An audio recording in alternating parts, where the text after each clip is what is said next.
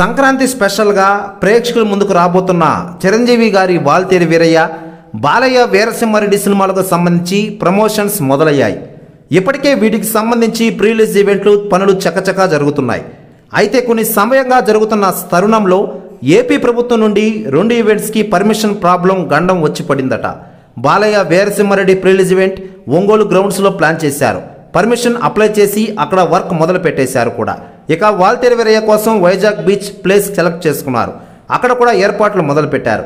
కానీ అనుకోకుండా రెండు ఈవెంట్స్కి పర్మిషన్ సమస్య ఎదురైందని ఇన్సైడ్ టాక్ వీరసింహారెడ్డి ఈవెంట్కి వచ్చే భారీ పబ్లిక్ ఒంగోలు గ్రౌండ్లో ఆపలేమని అంతమందిని గ్రౌండ్లో పెట్టి ఈవెంట్ చేయడం ఇంపాసిబుల్ అని పోలీసులు పర్మిషన్ని నిరాకరించారని తెలుస్తోంది.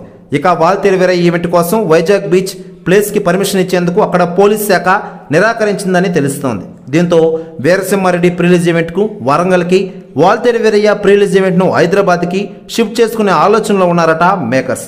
ఇదిలా ఉండగా ఈ Waltair Veerayya movie prerelease event postpone అవడుతున్న వార్తలు వైరల్ అవడంతో మెగా ఫ్యాన్స్ అందరూ తీవ్ర నిరాశలోకి వెళ్ళిపోయారట. ఇకపోతే ఈ న్యూస్ ప్రస్తుతం మెగా వర్గాలలో కూడా హాట్ టాపిక్గా మారింది. మరోపక్క మెగాస్టార్ చిరంజీవి గారు ఈ విషయంపై ఏపీ సీఎం జగన్ గారితో మాట్లాడేందుకు రంగంలోకి దిగనున్నారట. ప్రెస్ ఈ న్యూస్ కూడా తెగ వైరల్ అవుతోంది ఇండస్ట్రీలో.